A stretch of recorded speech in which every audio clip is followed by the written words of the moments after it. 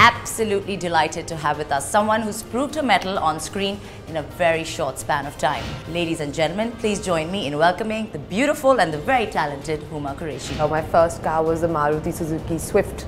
Um, it was a red colored beautiful car. I still have like amazing memories of it.